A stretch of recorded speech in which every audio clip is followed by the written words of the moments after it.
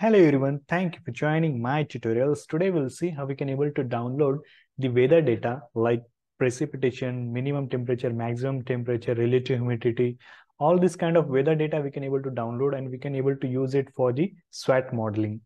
So how to download the data set that we'll see. After that, we'll prepare a rainfall map using this data set. Okay. So how to download? For that, we just need to go to this power website. Okay. NASA power website. So if you go to Google, just search here as a NASA power data. So once you'll search here NASA power data, you will see the first website showing here data access. Just click on it. I will also provide the link in the description box from where you can able to access this website. So welcome to the power data access here. So just click on the access data. Okay. So this I don't want. So I'll remove from here. So first we need to select our location where we want to download the data set. Okay. So like you might having your study area where you are interested to download the weather data like temperature, precipitation. So that we need to select.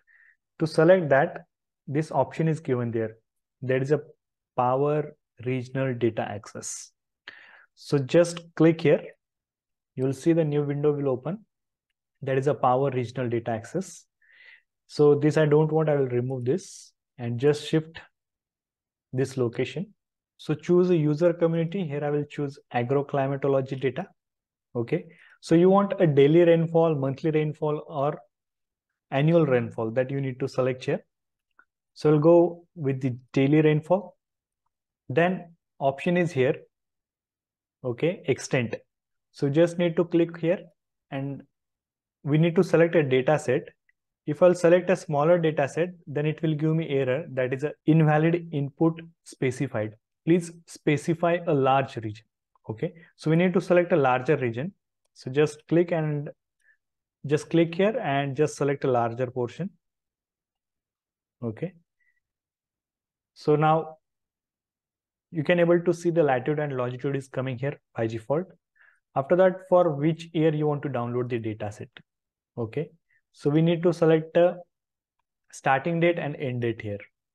So let I will select a starting date from like I'm interested to download it for the 2020. Okay. And first Jan. And also I will select here 2020. And I'll go up to December. So from January to December, I'm selecting here.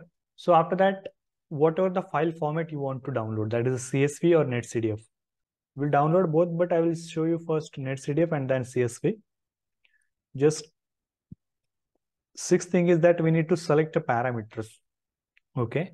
So if you want a solar flux, then just click on the all solar surface short wave downward. After that, there is an option that is a temperature. Okay. So I'm interested to download for the temperature that is a minimum temperature, maximum temperature, maximum minimum temperature. After that, I want this precipitation file. Okay. Also relative humidity. Then if you want a wind pressure, then you can able to get the wind speed at 10 meter. So these are all parameter if you require, what are the parameter required for your SWAT model that you can able to select. So I'm selecting here and if you want to prepare precipitation map or any different kind of map that also we can able to prepare. That also i will show you how to prepare a precipitation map using this data set. So here all the information we have added and just need to click on the submit okay? So i'm selecting here a netcdf and that netcdf file will open in arcgis okay? So just click on the submit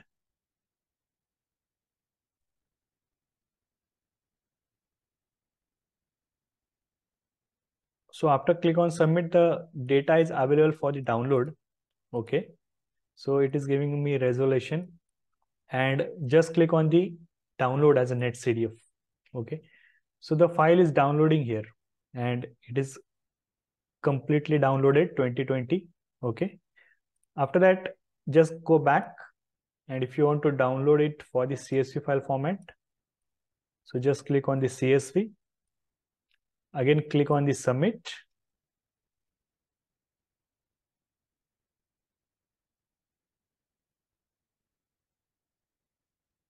and just click on the CSV. So CSV data is also downloaded. I'll just click on the CSV.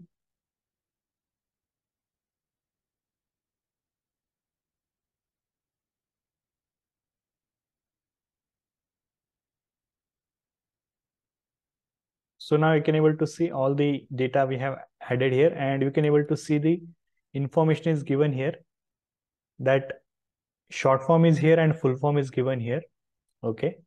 So now you can now you can able to see this is precipitation corrected data. Okay. Precipitation corrected. So this one is there precipitation corrected. Then this maximum temperature, minimum temperature, and this is the solar and this is the sky surface short waves then there is a wind speed. Okay all data is there. And uh, i'm interested to open this netcdf file. Okay i have also downloaded the netcdf file that i will open in arcgis so let i will show you the netcdf file which we have downloaded. So just click and go to download. And this is my netcdf file. Okay. So i will just cut this file and I will just paste into my folder where I'm working.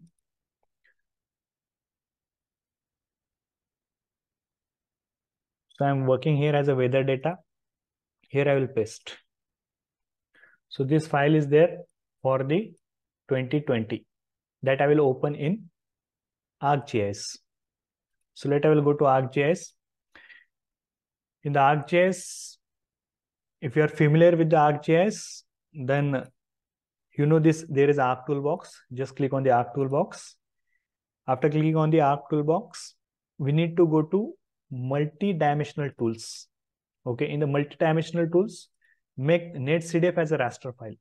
So we are having a netcdf file so that we can convert into raster file. So just click on the make netcdf as a raster. So input netcdf files we need to click here and we need to go to the location where we have saved our data so I have saved my data in the YouTube video folder. I'll just click there. After that, weather data. And here is a 2020 power regional daily 2020. Just click on OK. So now from here, I need a precipitation data. So I will select a precipitation. Then by default, it will take longitude, latitude, and the band dimension then band dimension click on the time. And other option is as it is and just click on the ok.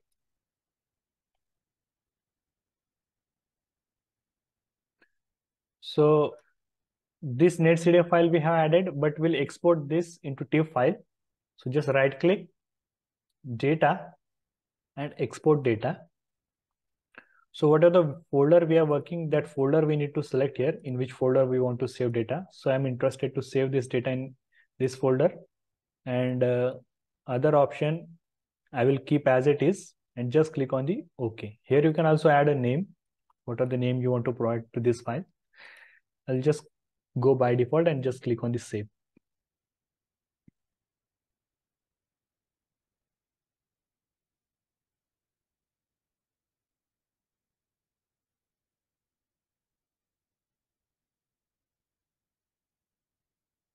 So would you like to add the exported data to the map layer?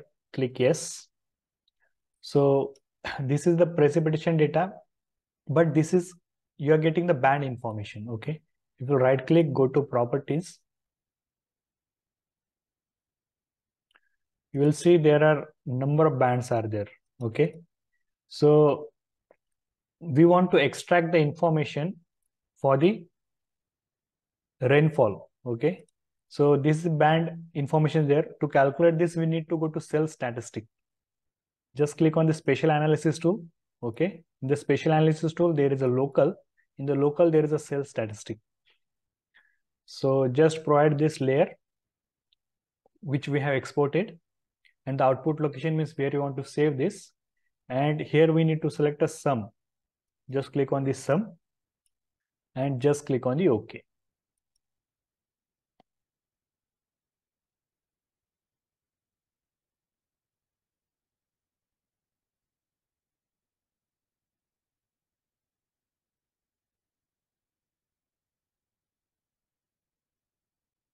So now we are getting the highest and lowest rainfall here. Okay. If I right click, go to properties. So I can color this. So this location is having minimum rainfall and this location is having highest precipitation where you are able to see the red. So we can convert this into highest resolution, but we need to project this data and then we can able to convert this file into highest resolution. So how to project it? So if you'll see this data set is falling into UTM zone 43. If you want to know at what UTM zone your file is falling, so my previous video is there. I will share the link in the description box from where you can able to access the video. And now we'll project this file. So to project this file, we need to click on the data management tool, then projection and transformation, raster, and project raster option is there. Project raster.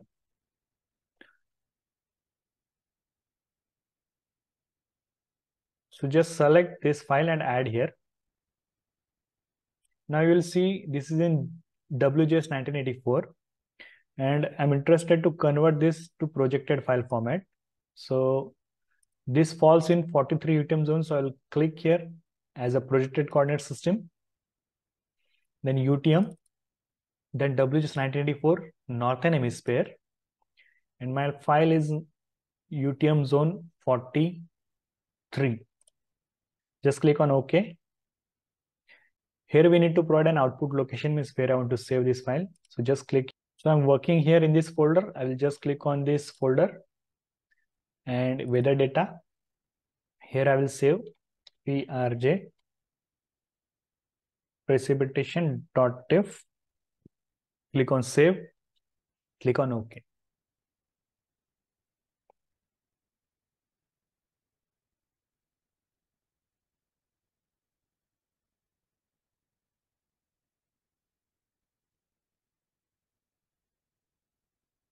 So now this file is a projected and now if you right click, go to properties,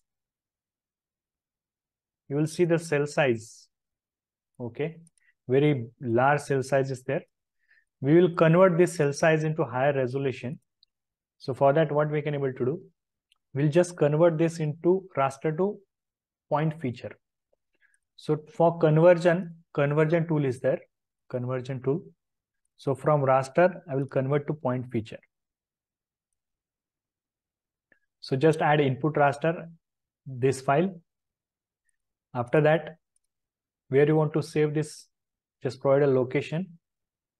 So I'll save here as a raster to point. Just click on save, just click on OK. So each cell will get the value okay now you can able to see this is the value for each cell and after that we'll use this grid code for idw okay we'll use this grid code for idw so what is idw that is inverse distance weightage. So if we'll go to spatial analysis too there is an interpolation and idw is there. Just right click go to help. You will get more information about the IDW. So what is IDW? Interpolation as a raster surface from a point using an inverse distance weightage So you can read here in more detail. I will just click on the IDW. That input point feature. So this is my point feature. And Z value, I will select as a grid code because it contain my precipitation. And the what is the cell size you want. So I want cell size as a 30 meter. So I'll select as a 30 meter. And where you want to save this, you can provide output location. I will just go by default and just click on OK.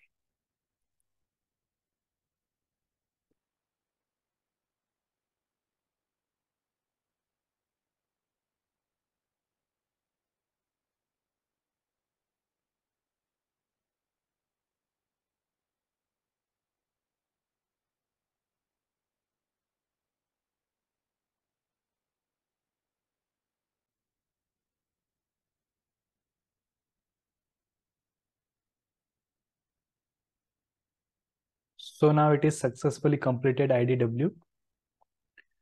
We can also change the color of it. Just go to symbology. You can choose your favorite color ramp. Just click on apply and okay. So this way very easily we can able to download any data set which can be useful for SWAT modeling as well. And also if you want to prepare uh, rainfall data, for that also it will be very useful. Just right click, zoom to layer. And if you'll see this data set, which is available for you from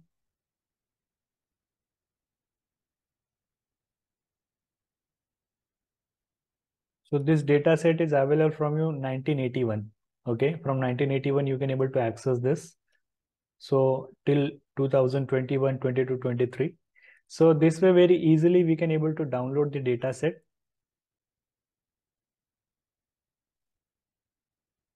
Now if you want to clip it for your study area, you can add your study area and you can able to clip or you can able to extract rainfall for your study area or precipitation for your study area.